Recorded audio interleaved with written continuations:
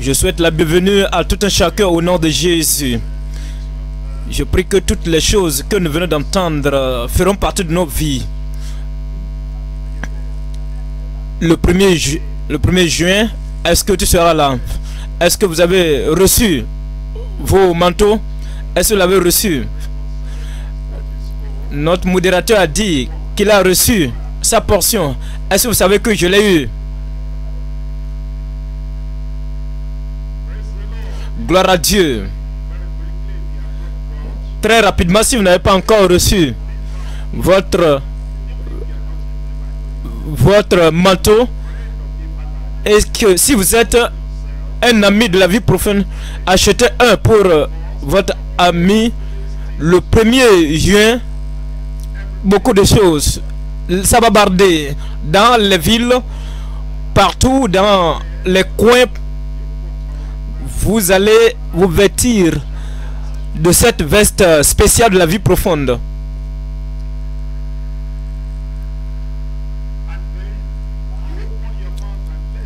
Et vous allez ouvrir votre bouche pour que tout le monde sache qui vous êtes. Je suis un chrétien. Je suis un pèlerin marchant vers le ciel. Après tout cela, je suis aussi membre de la vie profonde. Et vous savez, je suis le numéro 1. Le pasteur dit est le numéro 1. Vous prenez votre numéro à partir de mon numéro.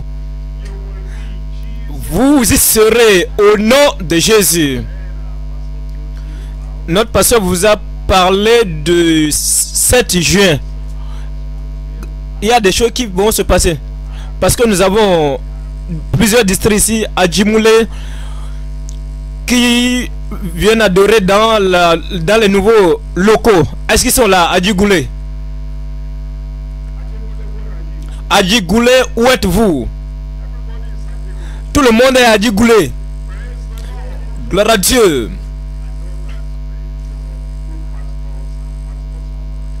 Je sais que les bons pasteurs vous auraient dit que nous sommes plus un peu relax maintenant parce que ce dimanche prochain je dois être avec vous.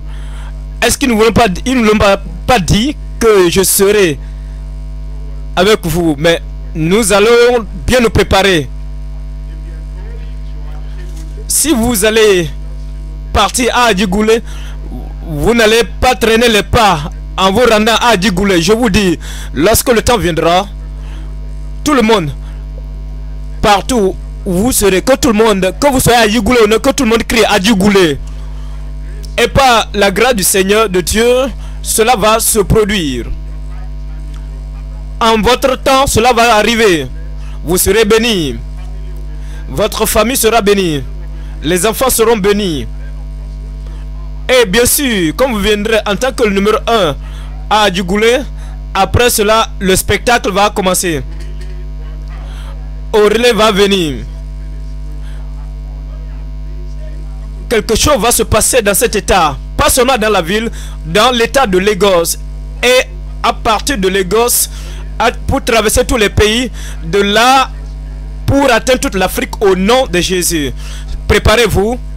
Je suis en train de me préparer. Quelqu'un, je me prépare. Quelqu'un là-bas.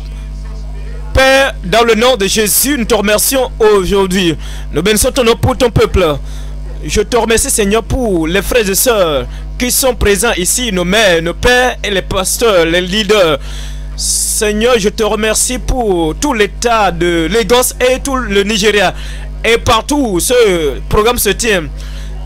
Que cette vie parvienne à tout le monde au nom de Jésus. Enlève le découragement. Donne, enlève tout ce qui nous décourage au nom puissant de Jésus. Impose ta main sur chacun. Utilise ton peuple puissamment. Je prie que l'éclairage viendra de ta parole pour tout un chacun au nom de Jésus. Suscite une armée puissante des saints, des soldats, de gagnants d'âme, une armée de gens remplis du Saint-Esprit. Enseigne-nous ce soir, Seigneur. Au nom puissant de Jésus, nous avons prié.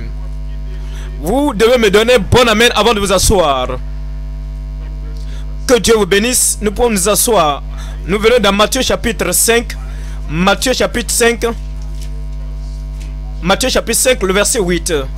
Matthieu chapitre 5, le verset 8. Heureux ceux qui ont le cœur pur, car ils verront Dieu. il s'agit là des paroles véritables du Seigneur Jésus-Christ. Et il s'agit là de cette prescription de l'amour de Dieu pour toi et pour moi. Il est venu ouvrir la porte pour les bénédictions du royaume à tout le monde. Nous devons comprendre qu'il y a des gens qui peuvent répéter cette phrase Heureux ceux qui ont le cœur pur, car ils verront Dieu. Peuvent le dire dans un temps, dans un temps comme s'ils ne sont pas saints, comme s'ils ne sont pas justes. Et ainsi, ils peuvent indiquer pour dire, vous savez, heureux ceux qui ont le cœur pur. Et si vous n'êtes pas pur, c'est malheureux pour toi. C'est seulement ceux qui ont le cœur pur qui peuvent voir Dieu. Mais vous savez, Jésus n'a pas un tel ton. Jésus n'a pas le désir de ce que toi tu vois. Mais Dieu merci, tu vas voir Dieu. Mais il veut que nous voyons Dieu. Tu dois voir Dieu. C'est pourquoi Jésus est descendu du ciel à la terre pour te préparer, de, pour que tu vois Dieu à la fin de ta vie. Alors il dit, je veux t'amener à cette félicité du royaume.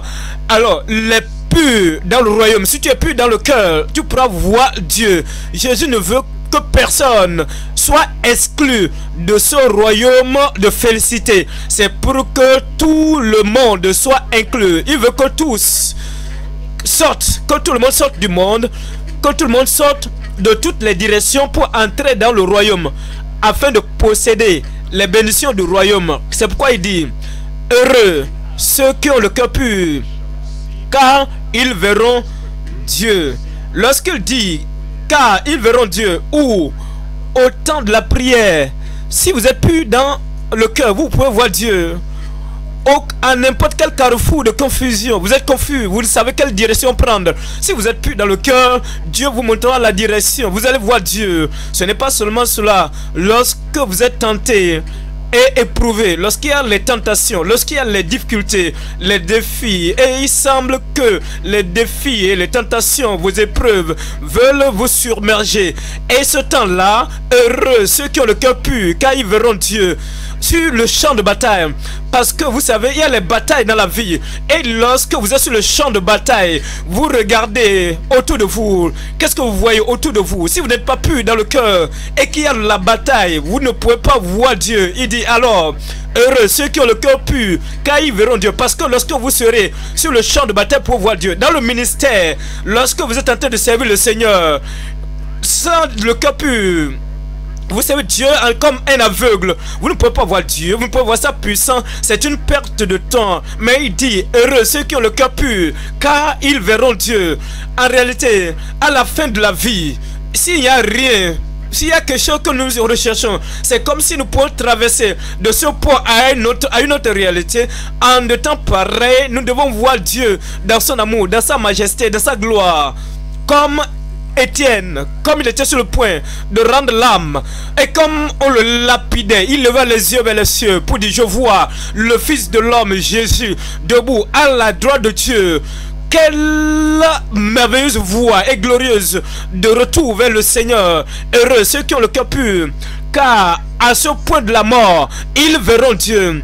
Et lorsqu'il va parvenir à l'autre côté de la vie, après que le corps serait enterré sur la terre, dans le tombeau, l'esprit serait parti dans l'au-delà. Qu'est-ce qui se serait passé? Est-ce qu'il sera enterré par-ci par-là? Et cet esprit sera dans les ténèbres Et peut-être cet esprit sera rencontré par Satan ou le dragon et tous les autres esprits, vous savez, qui vont peut-être le dire, viens, viens avec nous. Ce serait terrible. Mais dans l'au-delà, au-delà du béni Jourdain. Heureux ceux qui ont le cœur pur, car ils verront Dieu dans l'éternité. Lorsque vous allez le temps passera et que vous comprenez que l'éternité s'étend devant vous à perte de vue et que vous comprenez que vous pouvez maintenant voir Dieu. Heureux ceux qui ont le cœur pur car ils verront Dieu à travers toute l'éternité quand vous marchez sur le sentier doré et que vous voyez Dieu dans la présence de Dieu que vous vous souvenez. Heureux ceux qui ont le cœur pur, car ils verront Dieu. Nous pouvons voir ici cette phrase, c'est un précepte. Cette euh, phrase est, accompagnée d'une prophétie, d'une promesse. Cette, phrase est accompagnée de la proclamation du Seigneur lui-même pour dire heureux ceux qui ont le cœur pur, car ils verront Dieu. Numéro 1, c'est la demande de Dieu ou l'exigence de Dieu. Lorsque vous considérez cela et que vous dites, je veux voir Dieu, je veux que Dieu me voie aussi. Si vous avez dit, si tu veux me voir, voici mon exigence. Si tu veux me voir, tu dois être pur, heureux, ceux qui ont le cœur pur. Deuxièmement, cela exige le désir, implique le désir de Christ. Il est venu pour donner sa vie. Il est venu pour verser son sang. Et la raison pour laquelle il a fait cela, c'est à cause de son désir. Il ne veut que personne périsse, mais que tous parviennent à la repentance. Il veut que toi, Dieu merci, tu l'auras. Dieu merci, tu verras Dieu. Et parce que c'est son désir, le désir de Christ. Numéro 3, c'est le plaisir du Saint-Esprit. C'est le plaisir du Saint-Esprit lui-même. C'est pourquoi Jésus-Christ a envoyé le Saint-Esprit sur nous, à nous, pour nous gagner, pour nous attirer à Dieu, pour amener Dieu au centre du royaume. Alors, il est venu pour être notre, pour être notre consolateur, pour nous conduire dans toute la vérité, pour que nous soyons saints, pour voir Dieu. Quatrièmement, c'est le décret du ciel. C'est le décret du ciel. Si quelqu'un doit parvenir au ciel, si quelqu'un doit voir le Dieu Tout-Puissant, il doit être pur dans le cœur. Numéro 5, c'est la doctrine de toute la Bible. Il s'agit de la doctrine de toute la Bible. Les gens autant, pourquoi les gens autant de Christ, pourquoi étaient-ils si durs, si impurs Parce qu'ils n'avaient pas, ils n'étaient pas saints, ils n'avaient pas le cœur pur, ils ne pouvaient pas voir la bonté, la miséricorde de Dieu. Pourquoi ces hommes à Sodome et Gomorre ont été-ils décimés et brûlés au feu? Parce qu'ils n'avaient pas cette qualité, la pureté du cœur. Lorsque vous considérez les enfants d'Israël dans le désert, ces hommes qui sont péris dans le désert, pourquoi avait-il péri parce qu'ils n'avaient pas cette félicité? Heureux ceux qui ont le cœur pur, car ils verront Dieu. Lorsque vous parvenez dans le Nouveau Testament, ce que Jésus-Christ recherche, il veut nous rendre purs dans le cœur. Il va le faire dans ta vie. Il va le faire dans notre vie au nom de Jésus. C'est la doctrine de toute la Bible. Sixièmement, c'est la déclaration de d'un ministère chrétien véritable. Si tu es un chrétien, un ministre chrétien, il s'agit là de la déclaration. C'est pourquoi nous prêchons, c'est pourquoi nous avons le ministère. Et c'est ce que nous déclarons aux hommes heureux, ceux qui ont le cœur pur, car ils verront Dieu. Numéro 7, c'est la dévotion de tous les saints. Si vous êtes vraiment un enfant de Dieu, si vous êtes une âme sauvée, si vous appartenez vraiment au Seigneur, il s'agit là de ta dévotion, il s'agit de, de ta dédicace. Il s'agit là de ce à quoi tu as consacré ta vie pour dire je veux voir Dieu. Vous voyez que c'est la nécessité d'être pur. Numéro 8, c'est le renoncement du monde. Le monde a renoncé à cela. Le monde conteste. Le monde dit non, nous ne pouvons pas être saints. Nous ne pouvons pas être purs. Nous ne pouvons pas être justes. Et parce que Satan leur donne cette idée sur prétexte et leur dit ce n'est pas possible pour que l'homme soit pur, l'homme soit saint. C'est le renoncement, l'abandon du monde. Mais lorsque le monde dénie, le monde refuse. Numéro 9, c'est le déterminant, le déterminant de la destinée de l'homme voici la phrase, voici ce mot, voici ce message, un message qui détermine la destinée de l'homme. Considérons Matthieu chapitre 5, le verset 8. Heureux ceux qui ont le cœur pur, car ils verront Dieu. Le message de ce jour, notre privilège béni sur la terre et dans l'éternité. Notre privilège béni la terre et dans l'éternité. Nous allons considérer trois choses dans ce message. Le péril des cœurs pollués et corrompus. Le péril des cœurs pollué et corrompu. Deuxièmement, la purification des cœurs convertis et rendus prêts. La purification des cœurs convertis et rendus prêts. Numéro 3, la promesse. Pour les cœurs consacrés, les cœurs purs et consacrés.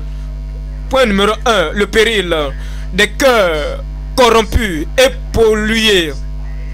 Lisons Matthieu chapitre 5, le verset 8. Heureux ceux qui ont le cœur pur, car ils verront Dieu. Déjà, comme nous considérons ce verset, il a parlé de certaines personnes. Et il a dit cette catégorie de personnes sont plus dans le cœur. Elles sont bénies. Elles sont heureuses. Elles sont dans la joie joyeuse. Elles ont le privilège. Elles sont éternellement favorisées parce qu'elles verront le Seigneur. Mais de l'autre côté de la pièce, regardez ici s'il vous plaît, lorsque vous avez des gens dans une chambre et nous disons ces personnes-là sont bénies. L'implication c'est quoi? C'est que ces gens dans la maison-là sont bénis. Et les hommes en dehors de la maison, malheureusement, il y a plus de personnes. Je ne parle pas de, euh, en dehors de notre bâtiment ici. Mais je parle, tous ceux qui sont en dehors et qui sont enfants de Dieu, vous êtes bénis au nom de Jésus. Je parle de ceux qui sont en dehors du royaume, de ceux qui sont en dehors du confinement, du cercle des enfants de Dieu qui sont lavés et purs et qui ont été sanctifiés. Ceux qui sont en dehors, cela dire qu'ils ne sont pas aussi bénis comme ceux-là qui sont au sein du royaume. Je vais vous donner l'opposé de cela.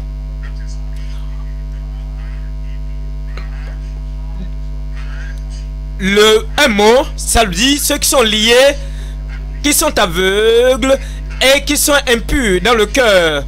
Alors, ils ne pourront pas voir Dieu. Ceux qui ne sont pas purs dans le cœur, le mot bahad, ceux qui ne sont pas purs dans le cœur ne verront pas Dieu. S'ils sont dans la prière, ils ne peuvent pas voir Dieu. Si j'avais conçu l'iniquité dans mon cœur, l'éternel ne m'aurait pas exaucé. Dans le chemin, le voie de la vie, ils vont marcher comme des aveugles. Le Seigneur ne se révélera pas à eux parce que Jésus-Christ a dit si vous obéissez à ma parole, moi et mon Père, nous allons nous manifester en toi. Nous, nous allons nous révéler à toi. Et Philippe, où te m'a dit, pourquoi vas-tu te révéler à nous et non au monde? Il dit, parce que c'est seulement ceux qui m'aiment, qui m'obéissent, qui verront ma manifestation. Heureux ceux qui ont le cœur pur, car ils verront Dieu. Ceux qui ne sont pas purs dans le cœur, ceux qui demeurent impurs dans le cœur, alors dans le voyage de la vie, ils ne verront pas Dieu. Dans la perplexité, vous savez, il y a des moments dans notre vie, des choses nous arrivent, nous sommes vraiment perplexes comme Job, et je tourne de, ce côté, il n'y a rien, je tourne de ci, de là, et il n'y a aucun consolateur, et il n'y a aucun sympathisant. Et vous, tous ces consolateurs, vous êtes des hommes, des hommes vains, et vous, vous, vous ne m'aidez même pas. Et alors, je ne peux pas voir Dieu, mais il voulait voir Dieu. Dieu merci, il a vu Dieu. Mais Dieu a vu sa situation. Dieu verra ta situation. Vous voyez, ceux qui sont liés, ceux qui sont mauvais, des gens qui sont aveugles, ils sont impurs dans le cœur. Et ils ne peuvent pas voir Dieu au temps de leur perplexité.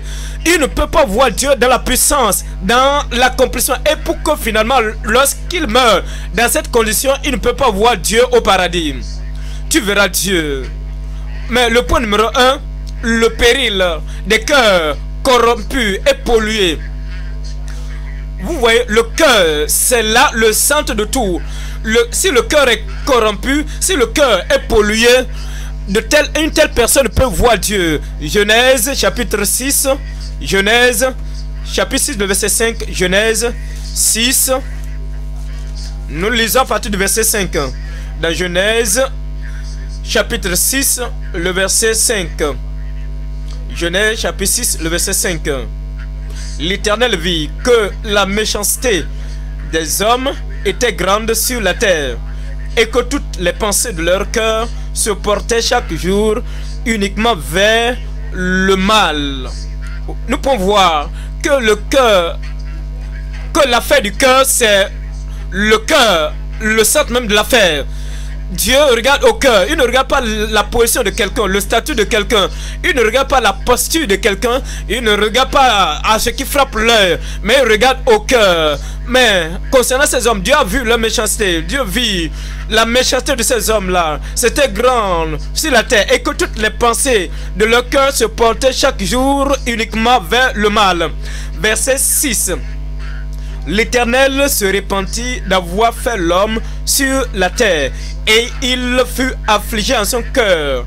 Et l'Éternel dit, j'exterminerai de la face de la terre l'homme que j'ai créé depuis l'homme jusqu'au bétail, aux reptiles.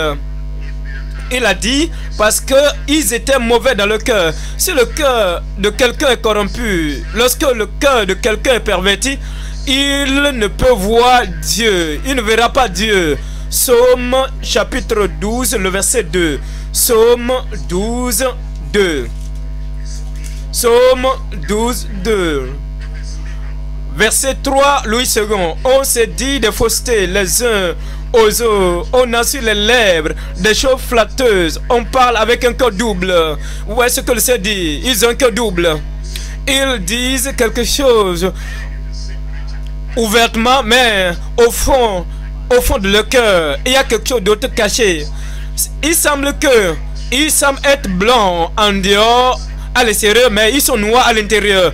Ils semblent être amicaux à l'extérieur, mais ils sont ennemis à l'intérieur. Ils semblent qu'ils sont vraiment aimables, des hommes qui aident, mais à l'intérieur, ils, ils, bloquent. Ils nourrissent de la haine. Ils semblent, ils paraissent comme des hommes qui veulent vous promouvoir, vous élever, mais à l'intérieur d'eux-mêmes, ils cherchent à vous détruire. C'est pourquoi il dit, il se dit des vanités, des faussetés les uns aux autres. On a sur les lèvres des choses flatteuses. On parle avec un cœur double. Verset 4 que l'Éternel extermine les lèvres flatteuses, les langues qui discourent avec arrogance. Ceux qui disent, nous sommes puissants par notre langue, nous avons nos lèvres avec nous, qui sera notre maître? Vous savez, le problème, le problème c'est le problème du cœur. Et nous pouvons voir cela dans le verset 2, dans Ézéchiel chapitre 25. Ézéchiel chapitre 25. Ézéchiel 25, le verset 15. Ézéchiel 25, le verset 15. Il nous parle de la condition du cœur qui est très importante. L'état de la pensée de l'homme, du cœur de l'homme est très important. Et la corruption dans le cœur de l'homme est remarquée par Dieu. Et lorsque Dieu remarque cette corruption dans le cœur de l'homme, et dit, est-ce que ne vas-tu pas venir? Il ne, il ne va pas amener la bénédiction du cœur pur parce que ton cœur n'est pas pur. Il dit dans Ézéchiel chapitre 25, le verset 15. Ainsi parle le Seigneur l'Éternel, parce que les Philistins se sont livrés à la vengeance, parce qu'ils se sont vengés dédaigneusement et du fond de l'âme, vous voyez, du fond de l'âme, vous voyez, le cœur est là au centre de la question, voulant tout détruire dans leur haine éternelle. Il nous dit, il y a des gens qui sont vraiment remplis de la haine. Cette haine dure un an, deux ans, et ils sont vraiment enceintes de la haine, remplis de la haine. Et ils nourrissent cette haine. Ils nourrissent cette haine dans leur pensée. Et il dit ici, voulant se venger, voulant tout détruire dans leur haine éternelle. Et il veut détruire tous les hommes. Alors, ainsi parle le Seigneur, l'Éternel. Voici, j'étends ma main sur les Philistins.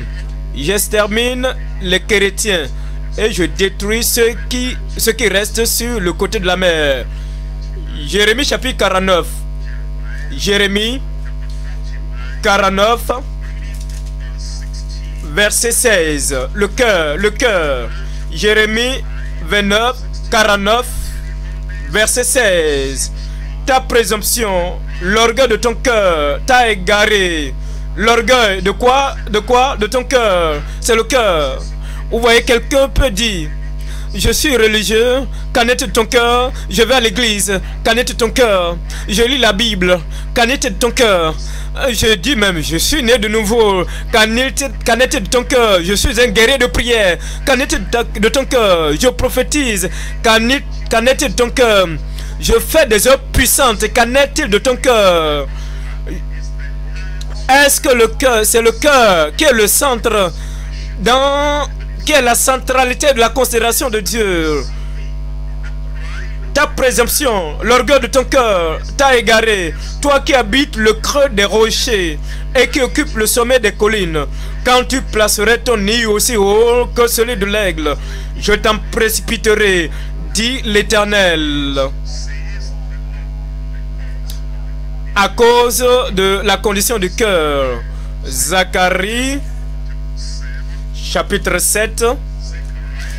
Zacharie chapitre 7. Le verset 11. Zacharie chapitre 7. Verset 11. La condition du cœur. Le cœur corrompu. Un cœur perverti. Un cœur pollué. Un cœur souillé et pécheur. Endurci, obstiné dans le chapitre 7 du livre de Zacharie, le verset 11. Mais ils refusaient d'être attentifs. Ils eurent l'épaule rebelle.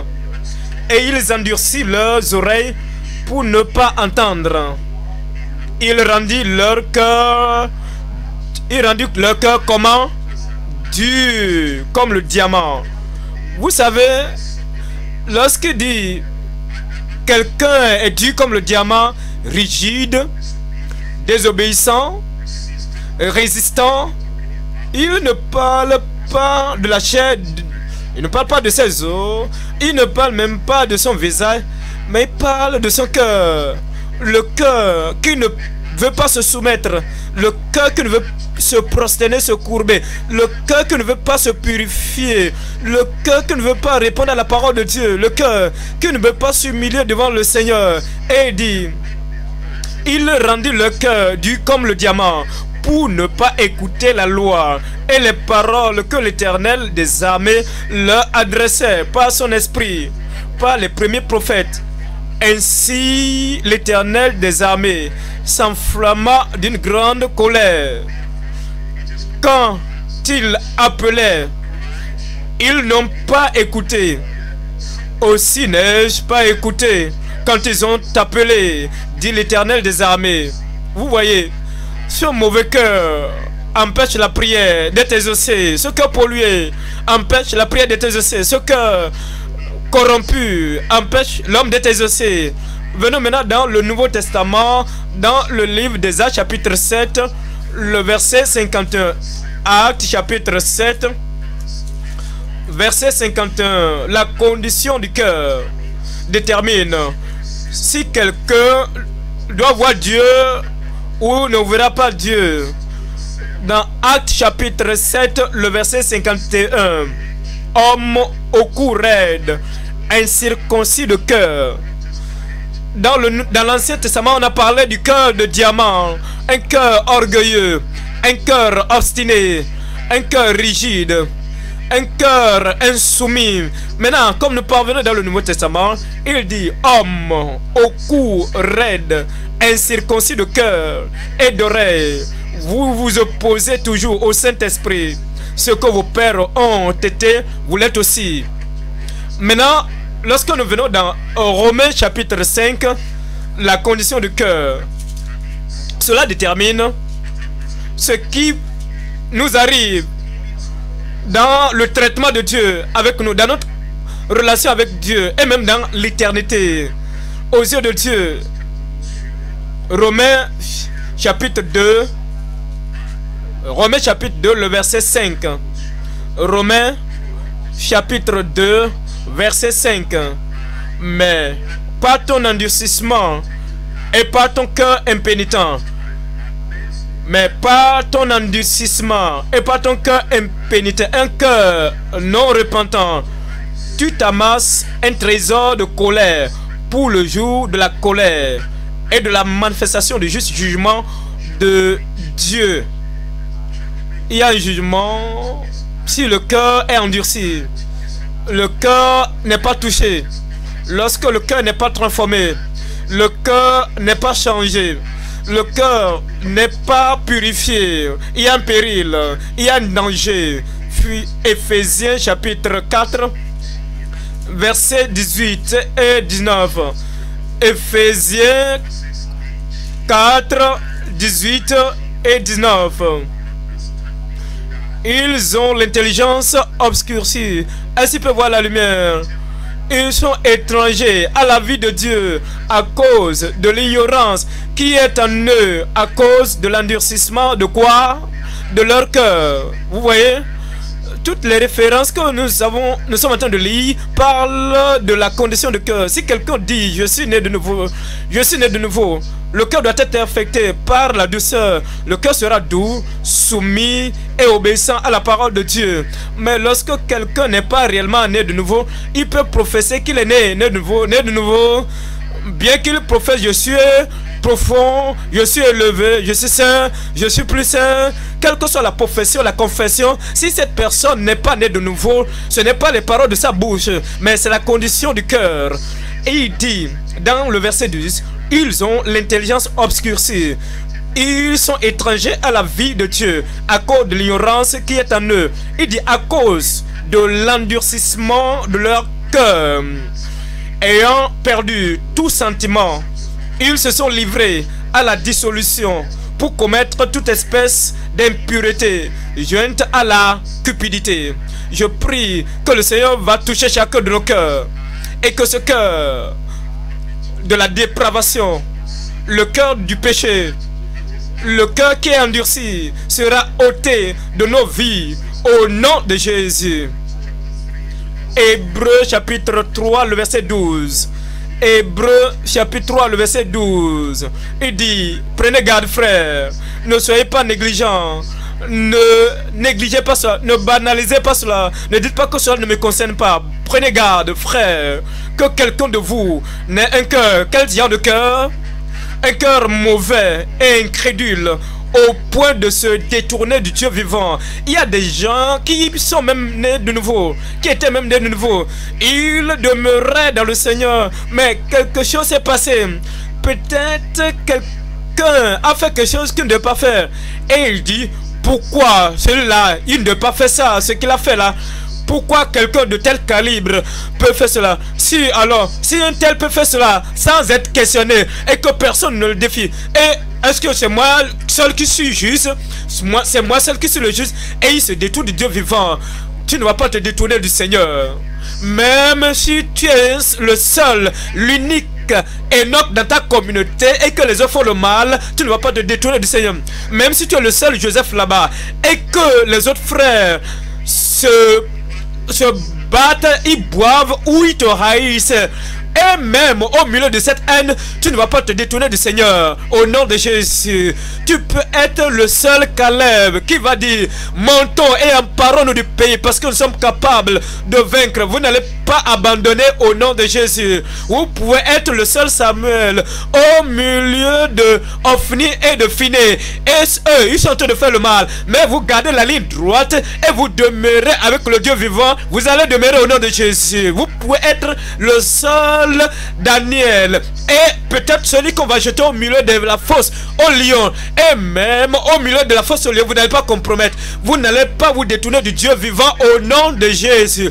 Vous, pouvez être les trois les seuls trois personnes comme Abednego. Meshach et Nebuchadnezzar dit vous dites vous servez le cœur Vous dites, vous êtes des hommes de cœur pur. Est-il si vous jette dans le feu Dieu merci. Nebuchadnezzar ne va pas vous intimider. Pharaon ne va pas vous intimider. Vous n'allez pas abandonner votre foi au nom de Jésus. Vous savez, lorsque les gens abandonnent la foi, c'est parce que c'est à cause de ce cœur mauvais. Regardons encore ce verset 12. Dans Hébreu chapitre 3, le verset 12. Prenez garde, frère, que quelqu'un de vous n'est un cœur mauvais et incrédule au point de se détourner du Dieu vivant.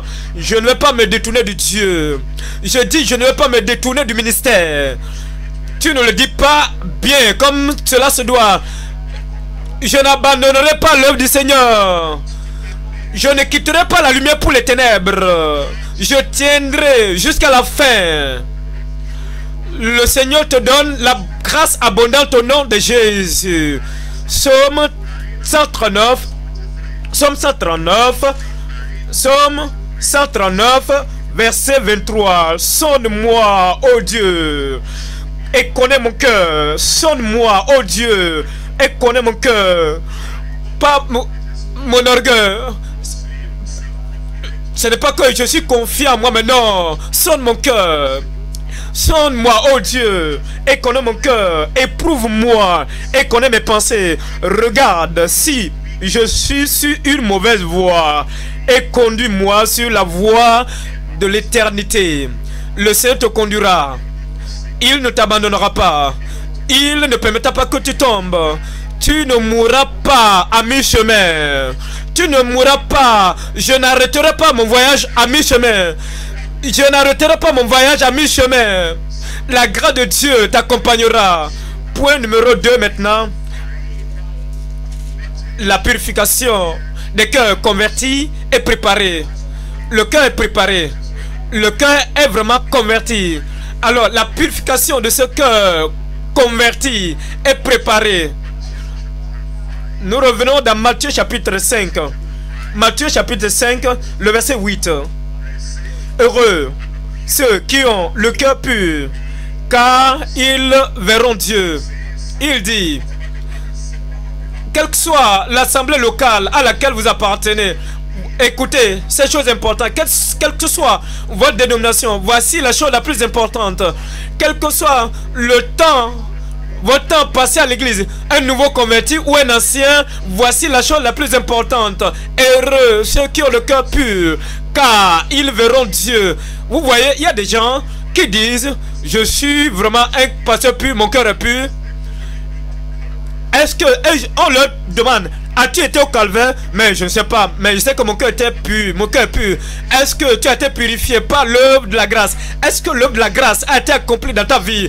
Est-ce que tu es sûr que Jésus-Christ t'a amené, il t'a purifié, il t'a lavé, il a changé, bouleversé ta vie? Et il dit non, je ne sais pas, mais seulement je sais que quelque chose me dit au fond de moi que tout va bien.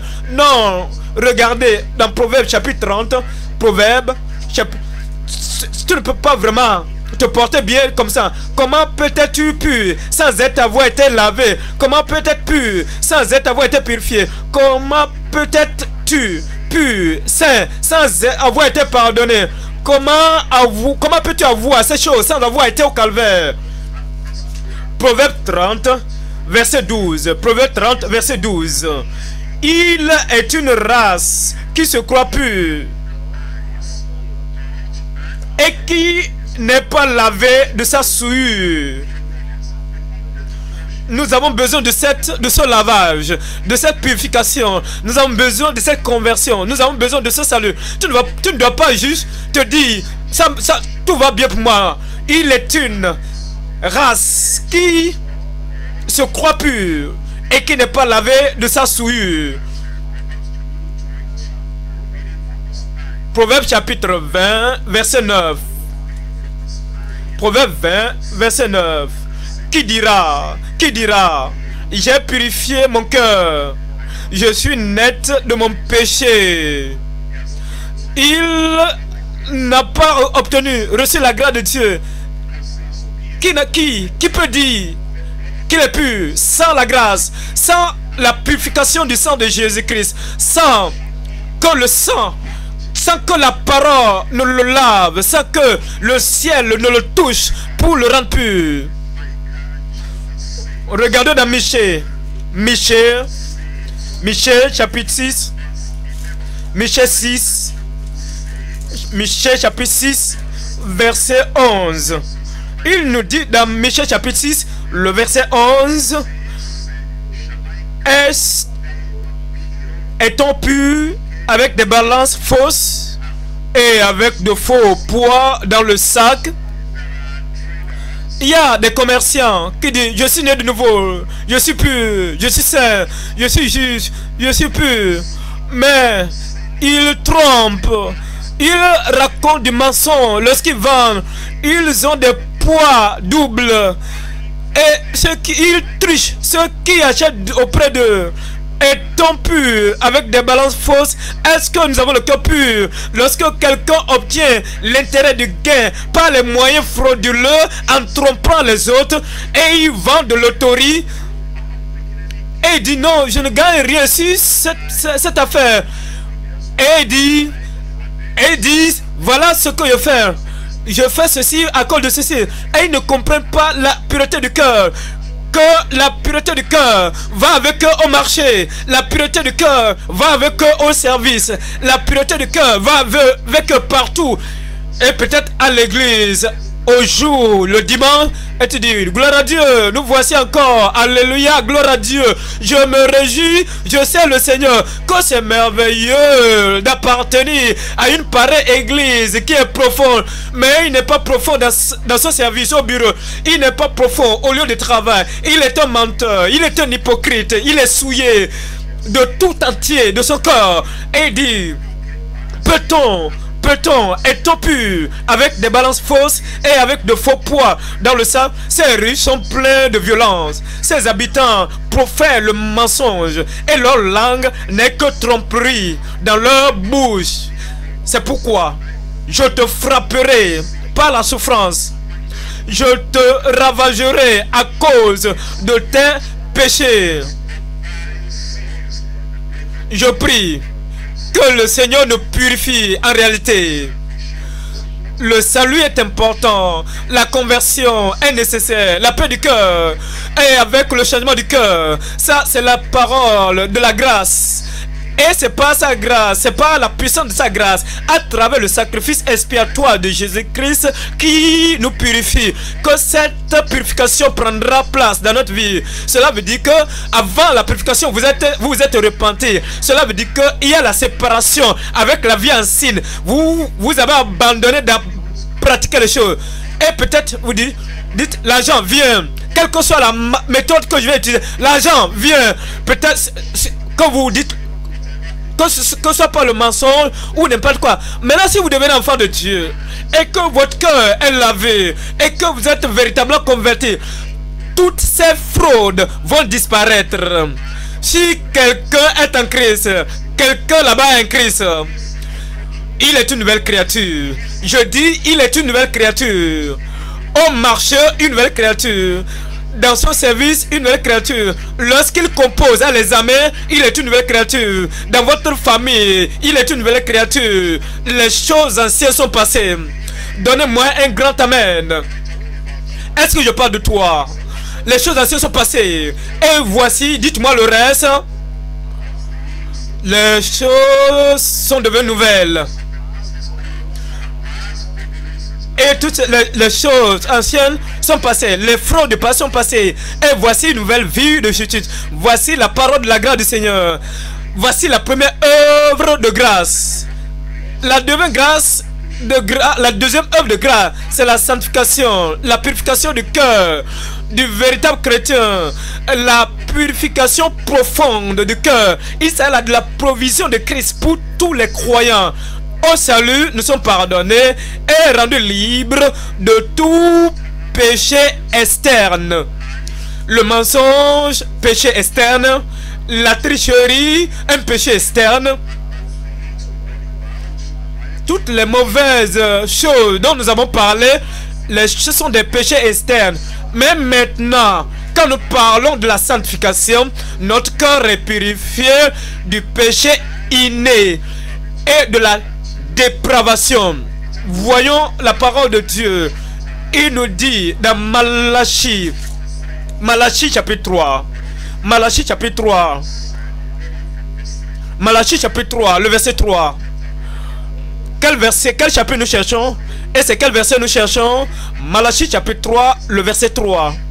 Il s'assiera, fondra et purifiera l'argent il purifiera les fils de Lévi. Il les épurera comme on épure l'or et l'argent. Et ils présenteront à l'Éternel des offrandes avec justice. Vous allez offrir votre service dans la justice. Votre service sera récompensable. Votre gain d'âme sera récompensable. Et tous vos déplacements ne seront pas en vain. Il va vous récompenser ici sur la terre. Et il, va, il va vous récompenser dans l'éternité. Vous verrez Dieu ici-bas. Chaque fois que vous aurez des défis, il va se révéler à vous au nom de Jésus. Et lorsque vous allez parvenir à l'autre côté de la vie, vous ne mourrez pas comme un orphelin. Vous verrez le Seigneur au nom de Jésus. Mais vous savez, nous devons lui permettre de nous purger, de nous purifier, de nous laver, de nous sanctifier. Et il dit, il le fera. Le verset 4. Alors, front de Judas et de Jérusalem sera agréable à l'Éternel. Comme votre offrande sera agréable à l'Éternel. Parce que vous nous amenez cette offrande à partir d'un cœur pur et sanctifié, comme aux anciens jours, comme aux années d'autrefois. Nous venons dans Acte chapitre 15. Acte chapitre 15. Je lis à partir du verset 9. Acte chapitre 15. Nous lisons le verset 9. Il dit, il n'a fait aucune différence entre nous et eux ayant purifié leur cœur par la foi. Vous voyez cela? Il s'agit là de l'affaire du cœur, de la question de cœur. La purification du cœur. Et ayant purifié le cœur par la foi, comme nous venons Seigneur, nous déposons tout au, à l'autel sans rien retirer, sans réserve. Nous ne retenons rien de la part du Seigneur. Nous ne disons pas, voici juste à quel niveau il peut aller, voici à quel niveau je peux abandonner. Jésus est allé et il a tout abandonné. Jésus allait plus loin pour nous et il a offert tout ce qu'il avait pour nous. Et à cause de ce que Jésus Christ a fait pour nous, nous déposons tout à la croix du calvaire. Notre talent, notre argent, notre habileté, notre capacité, tout ce que nous possédons. Et nous voulons juste servir le Seigneur. Et il dit, Dieu merci, je vois cette dédicace en toi. Je prie que ce dévouement ne quitte pas nos vies au nom de Jésus. Vous savez, parfois, je m'étonne de comment vous allez répondre à certaines annonces que nous donnons. Vous savez, à Juglouin et ce nous avons été bien. Et parfois, nous voyons comme nous voyons comme si les choses allaient vraiment se chambouler. Et à cause des mouvements par-ci par-là, nous arrangeons les choses et nous donnons l'information. Et comme nous recevons l'information, il n'y a pas de cœur. Est-ce que est-ce y a raison? Il n'y a pas de discussion. Est-ce y a raison? Et nous disons nous disons que nous allons rejoindre le centre de Festac et je dis que je vous verrai là-bas, je vous vois là-bas, il n'y a pas de découragement, il n'y a pas de discute parmi nous. Dieu vous bénira. Mais vous savez, lorsqu'il n'y a pas la pureté de cœur, lorsqu'il n'y a pas un changement de cœur, c'est comme si on dit pourquoi ont-ils fait, pourquoi ils ont fait cela? Et il y a des arguments. Mais je vois les gens qui n'argumentent pas avec Dieu. Je vois des gens qui n'argumentent pas avec le leadership. Dieu va vous bénir plus vous êtes pur, plus votre attente sera grande. Et le Seigneur va bénir chacun de nous au nom de Jésus. Il dit, il n'a pas fait, il n'a fait aucune différence entre nous et eux, ayant purifié le cœur par la foi. Alors, il nous purifie pour la sanctification. Il nous lave et heureux ceux qui ont le cœur pur, car ils verront Dieu. Tite chapitre 2 chapitre 2, le verset 14, qui s'est donné lui-même pour nous racheter de combien De toute iniquité, qui s'est donné lui-même pour nous, afin de nous racheter de toute iniquité et de se faire un peuple qui lui appartienne, purifié par lui et zélé pour les bonnes œuvres. Vous ne serez pas tiède. Vous ne serez pas... Vous n'allez pas lambiner. Traînez les pas. Votre cœur est purifié. Et maintenant, lorsque vous êtes purifié, vous êtes zélé. Toute portée qui vous vient, vous voulez servir le Seigneur. C'est pourquoi nous disons oui à tout moment au service du Seigneur. Et dire, nous sommes zélés, nous avons la passion. Et nous servons le Seigneur. Parce que Jésus s'est donné lui-même pour nous, afin de nous racheter de toute iniquité et de se faire un peuple qui lui appartient, purifié et zélé pour les bonnes œuvres. Nous lisons dans 1 Pierre, chapitre 1. 1 Pierre 1, 14. Comme des enfants obéissants, comme des enfants obéissants, ne vous conformez pas aux convoitises que vous aviez autrefois, quand vous étiez dans l'ignorance. Mais puisque celui qui vous a appelé est saint, vous aussi soyez saint dans combien de choses Dans toute votre conduite? Celui qu'il est écrit, vous serez saint car je suis saint. Il nous dit dans le verset 18, sachant que ce n'est pas, pas des choses périssables, pas de l'argent ou de l'or, ou que vous avez été racheté de la vaine manière de vivre que vous aviez hérité de vos pères. Mais, mais c'est le sang qui Mais pas le sang précieux de Christ. Comme d'un agneau sans défaut et sans tache. C'est ce que nous purifie. Verset 20. Prédestiné avant la fondation du monde et manifesté à la fin des temps, des temps à cause de vous. Purifié. Purifié dans l'âme. Purifié dans le cœur. Purifié dans puisque vous avez été régénérés, non pas une semence corruptible, mais pas une semence incorruptible. Le verset 23, par la parole vivante et paiement de Dieu. Rassurez-vous que vous vous aimez les uns les autres. Dites-le avec... Dites-le fort. Nous le faisons avec un cœur pur. Vous êtes gentil, mais avec un cœur pur. Vous êtes compatissant avec un cœur. Vous respectez les autres avec un cœur pur. Vous faites aux autres comme vous voulez qu'ils fassent pour vous. Et ce sera ce que Dieu va récompenser. Daniel chapitre 12. Daniel chapitre 12 verset 9. Daniel chapitre 12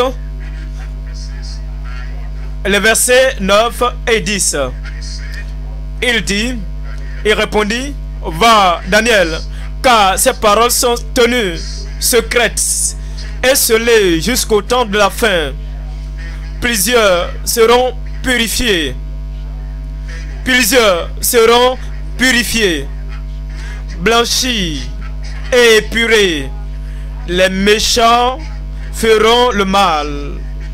Vous voyez, la méchanceté des autres ne doit pas nous empêcher ne doit pas faire obstruction à notre pureté. La méchanceté des autres ne doit pas nous amener à, à sentir, à avoir l'impression comme si je ne serais pas sanctifié. À nous dire, est-ce que je peux être transparent? Regarde tel ou tel, regarde tel, regarde la communauté, regarde comment les gens sont méchants. Mais au milieu de ces hommes méchants, plusieurs seront purifiés. Et vous faites partie de ces plusieurs.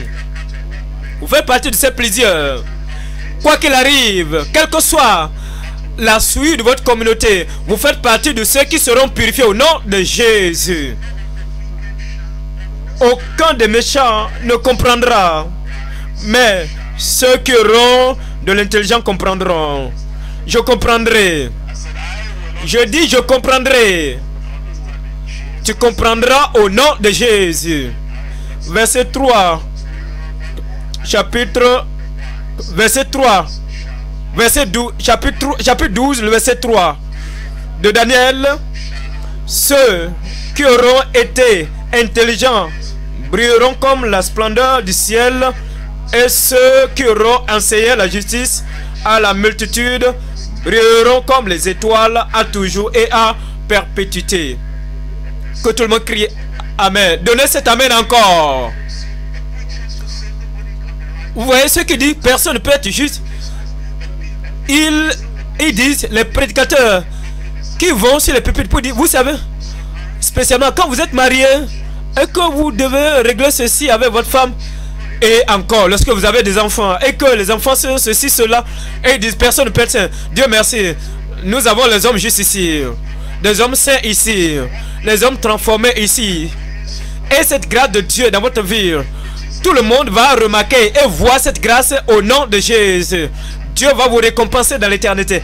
Et même ici bas, sur la terre, il va vous récompenser. Il dit, ceux qui auront été intelligents brilleront comme la splendeur du ciel. Et ceux qui auront enseigné la justice à la multitude, vos convertis ne seront pas perdus. Vos convertis ne seront pas perdus. Ceux qui auront enseigné la justice à la multitude prieront comme les étoiles à toujours et à perpétuité. Nous revenons dans Matthieu chapitre 5 verset 8. Matthieu chapitre 5 le verset 8. Heureux ceux qui ont le cœur pur, car ils verront Dieu. Car ils verront Dieu. Beaucoup de personnes ne comprennent pas l'aspect des promesses de Dieu. Ils ne comprennent pas les deux volets de la promesse de Dieu. Et ils pensent que c'est quand nous allons mourir que nous verrons Dieu. Beaucoup pensent que comme nous traversons ces rues de la vie, c'est comme Dieu ne va pas se montrer à nous. Comme dans ce ils, ils pensent que, oui, ils ne comprennent pas que nous allons voir Dieu dans la prière. Ils pensent que ces ennemis autour de nous que nous ne voyons pas, Dieu va les chasser loin de nous. Vous allez voir Dieu, il sera puissant et fort dans toutes les situations de votre vie au nom de Jésus. Plusieurs ne comprennent pas l'expression. Ils verront Dieu. Cela veut dire dans tous les aspects de ta vie, dans chaque point de ta vie, dans chaque coin de ta vie, tu verras Dieu. Il ne t'abandonnera pas comme un orphelin. Il ne te laissera pas comme un aveugle qui essaie de déambuler, de chercher son chemin et qui ne peut pas voir Dieu et que tu ne peux pas trouver ton chemin. Heureux ceux qui ont le cœur pur car ils verront Dieu. Je veux que vous considérez Nombre chapitre 12. Nombre 12, ils verront Dieu. Nombre 12, vois Dieu, vois Dieu. Nombre chapitre 12, versets 7 et 8. Dans Nombre chapitre 12, les versets 7 et 8. Il n'en est pas ainsi de mon serviteur Moïse. Il est fidèle dans toute ma maison. Je lui parle bouche à bouche je me révèle à lui sans énigme. Et il voit une représentation de l'éternel. Il voit une représentation de l'éternel. Il regarde une représentation de l'éternel. Pourquoi donc n'avez-vous pas craint de parler contre mon serviteur, contre Moïse? Regardez dans Deutéronome chapitre 34, ils verront Dieu, tu verras Dieu. Je dis, tu verras Dieu. Deutéronome chapitre 34, le verset 10. Deutéronome chapitre 34, le verset 10. Il dit dans Deutéronome 34, le verset 10, Il n'a plus paru en Israël de prophète semblable à Moïse que l'Éternel connaissait, dites-le moi, face à face, face à face. Il a vu Dieu personnellement et spirituellement. C'est ce qui est arrivé à Moïse. Vous voyez Dieu, il a vu Dieu personnellement et spirituellement. Deuxièmement, nous venons dans Exode chapitre 24. Exode 24, verset 7. Exode 24, nous lisons le verset 7. Exode 24, 7. Il nous dit dans le verset 7, il prit le livre de l'Alliance et le lut en présence du peuple.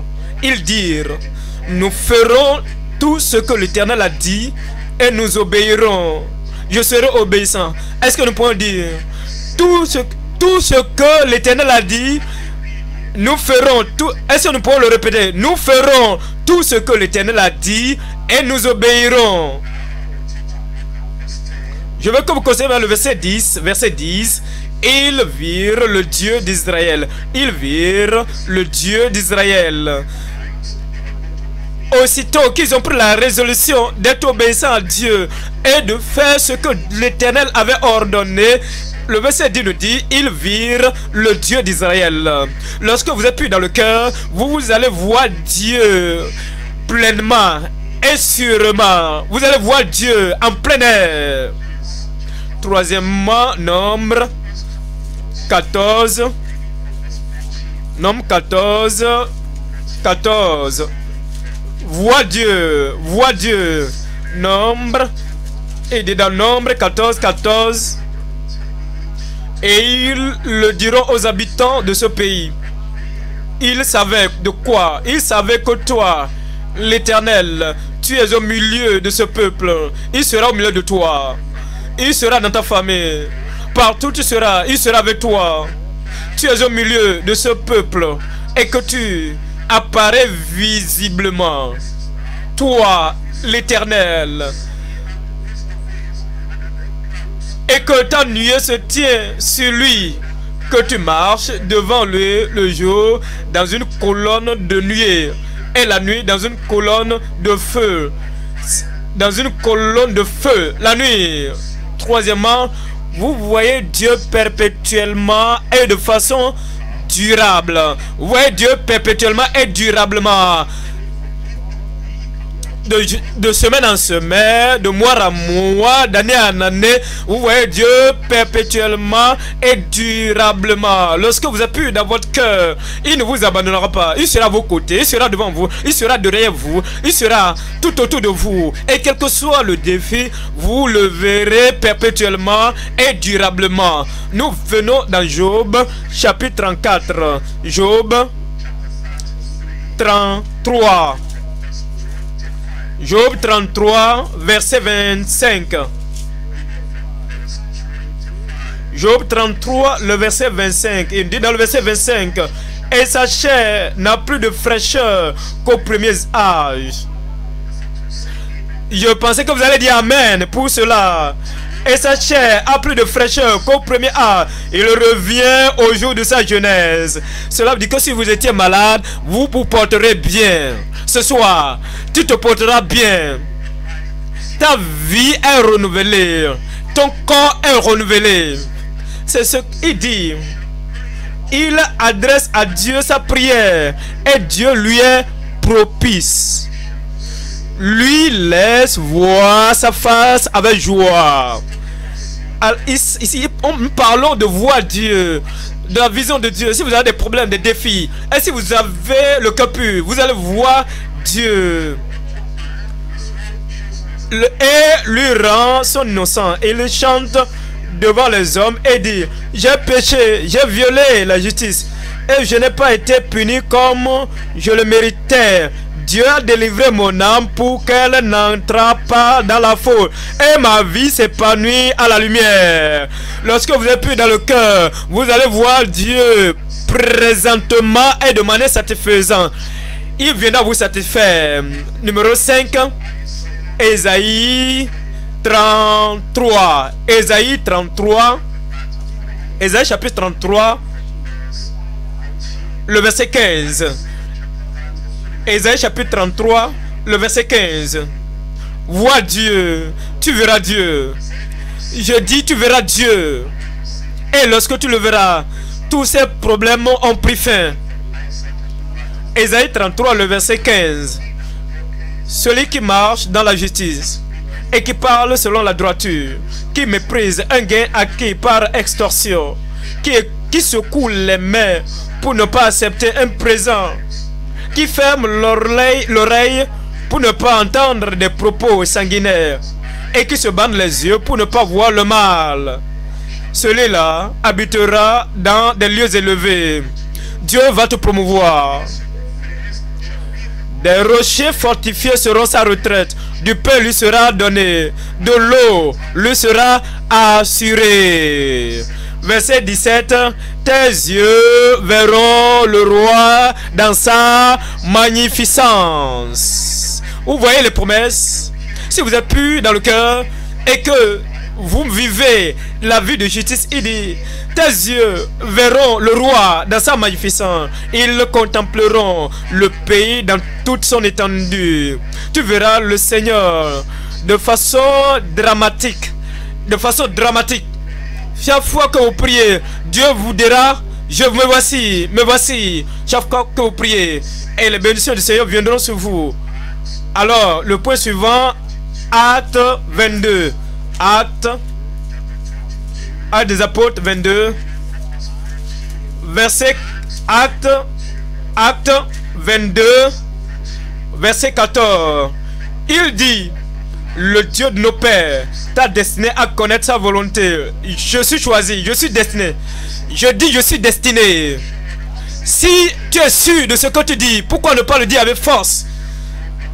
Ce choix sera prouvé par Dieu, confirmé par Dieu, et cette œuvre de Dieu va prospérer en tes mains. Le Dieu de nos pères t'a destiné à connaître sa volonté. Voyez cela, et à voir, à voir le juste, et entendre les paroles de sa bouche. Car tu lui serviras de témoin auprès de tous les hommes des choses que tu as vues et entendues tu verras Dieu progressivement et scripturairement. Vous voyez ce que l'apôtre Paul, il était appelé. Lorsqu'il fut appelé, il a vu le Seigneur sur le chemin de Damas au point de la conversion. Et il commença à prier et à jeûner pendant trois jours sans manger ni boire. Et il a vu en esprit qu'Ananias venait à lui. Et finalement, Ananias lui a imposé les mains et ses yeux se sont ouverts. Et Ananias a dit, voici le commencement de ton message. Tu vas continuer à voir l'homme juste. Voir Dieu progressivement et le voir scripturairement. Est-ce que vous savez, il y a des moments dans sa vie, il était même emmené emporté au ciel pour voir le Dieu Tout-Puissant. Et il est revenu encore ici sur la terre. Dieu va ouvrir les, va ouvrir les trésors du ciel pour toi. Vois Dieu progressivement et scripturairement. Numéro 7, Hébreu, Hébreu 12, Hébreu chapitre 12, Hébreu chapitre 12, le verset 14. Et Hébreu chapitre 12, le verset 14. Recherchez la paix avec tous. Est-il possible? Rechercher la paix avec tous. Est-ce que vous pouvez le faire? Je dis, est-ce que vous pouvez le faire? Par la grâce de Dieu, dans ta vie, ce serait fait. Rechercher la paix avec tous et la sanctification sans laquelle personne ne verra le Seigneur. Vous allez voir le Seigneur paisiblement, paisiblement et stablement. Vous allez voir le Seigneur. Toutes les confusions dans votre vie sont ôtées au nom de Jésus. Toutes les pressions, les oppressions, quel que soit le cas, et vous dites, je ne sais pas quel chemin prendre. Vous allez connaître vos chemins à partir d'aujourd'hui.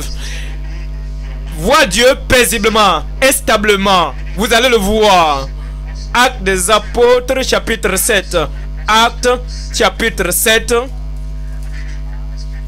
Verset 55. Acte 7, 55. Dit dans le verset 55, mais Étienne, rempli du Saint-Esprit, vous pouvez être rempli du Saint-Esprit, sauvé numéro 1, sanctifié numéro 2, et baptisé dans le Saint-Esprit, et rempli du Saint-Esprit. Étienne, rempli du Saint-Esprit, et fixant les regards vers le ciel, vit la gloire, tu verras, vit la gloire de Dieu.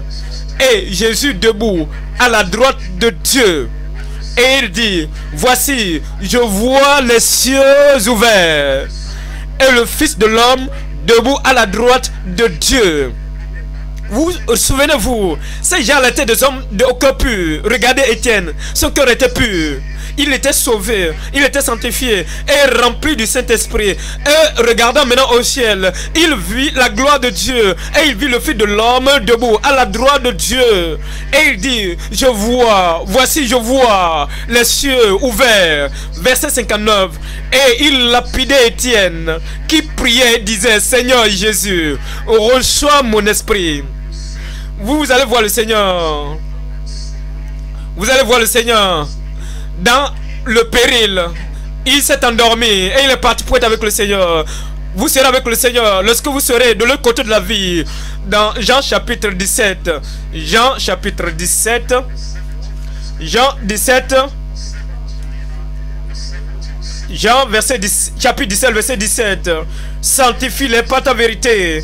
Ta parole est la vérité. Verset 24. Père, je veux que là où je suis, ce que tu m'as donné soit aussi avec moi afin qu'il voit ma gloire, la gloire, afin qu'il soit avec moi, qu'il soit avec moi, afin qu'il voie ma gloire, la gloire que tu m'avais donnée, parce que tu m'as aimé avant la fondation du monde. Vous voyez cela? Pour voir Dieu au jour final et pour le contempler, vous le voyez en permanence et de manière suprême. En permanence et de manière suprême. Nous revenons dans Job chapitre 9. Job chapitre 9. Heureux ceux qui ont le cœur pur. Qu'est-ce qui va se passer? Car ils verront Dieu. Je dis, heureux ceux qui ont le cœur pur. Qu'est-ce qui va leur arriver? Car ils verront Dieu. Nous venons dans Job 19, Job 19, 25. Job 19, 25. Job 19, 25. Je sais que mon Rédempteur vit, mais je sais que mon Rédempteur est vivant et qu'il se lèvera le dernier sur la terre. Quand ma peau sera détruite, il se lèvera. Quand je n'aurai plus de chair, je verrai Dieu. Quand je n'aurai plus de chair, quand je n'aurai plus de chair, je verrai Dieu, je le verrai, et il me sera favorable. Mes yeux le verront, et non ceux de notre. Mon âme languit d'attente au-dedans de moi. Je parle de voir Dieu. Il parlait de la vision de Dieu prophétiquement. Et il dit, je sais que mon Rédempteur vit. Je sais que mon Rédempteur est vivant. Et il se lèvera. Il viendra l'un de ces jours. Et je le verrai. Allons dans Job 42.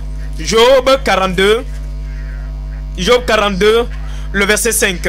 Job chapitre 42, verset 5. Est-ce que vous êtes là? Job chapitre 42, vers, quel verset s'il vous plaît? Verset 5. Mon oreille avait entendu parler de toi. Mais maintenant, mon oeil, dites-le moi, mais, mais maintenant, mon oeil t'a vu. Il pensait il imaginait, quand je vais mourir, les vins vont dévorer ma chair, mais de l'autre côté, je verrai mon rédempteur. Et mais Dieu dit, tu, tu me verras même maintenant, même en ce temps présent. Et Dieu s'est révélé à lui, et il fut guéri. Verset 10. L'Éternel rétablit Job dans son premier état. Comme vous venez au Seigneur maintenant et vous dites, Seigneur, je veux te voir même maintenant, même dans ce présent, dans ce temps présent, je veux te voir. Vous allez voir que Dieu va se révéler à vous et il va déverser les bénédictions doubles sur votre vie au nom de Jésus. Verset 12. Verset 10.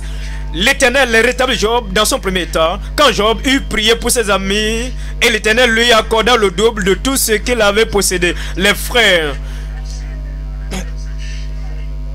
Et Dieu le bénit. Il a vu le Seigneur et ses bénédictions furent nombreuses. Tu verras le Seigneur.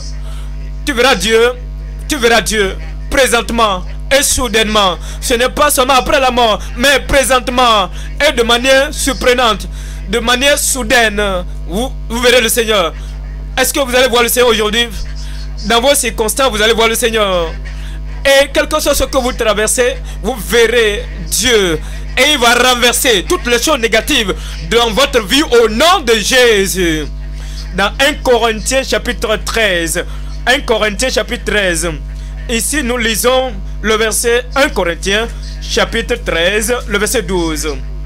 Il dit, aujourd'hui, nous voyons moyen de miroir d'une manière obscure.